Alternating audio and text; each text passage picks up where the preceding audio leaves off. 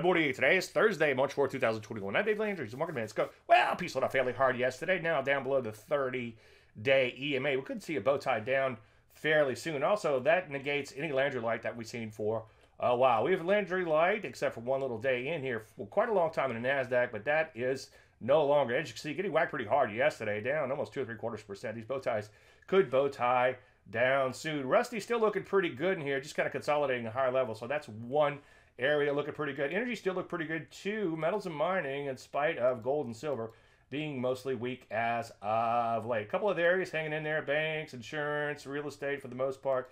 Drugs looking a little dubious in here. They bow tie down and have begun to sell off. Ditto for biotech. Also, take a look at retail, and there's a few other areas in here that are looking questionable. Nice little bow tie here, nice little sell off so far. I'm going to talk all about this sector rotation and a plethora of other stuff later tonight in the chart show. I hope to see you there. Go to davelandry.com to sign up. Any questions? Dave at davelandry.com. I'm Dave Landry, and you start.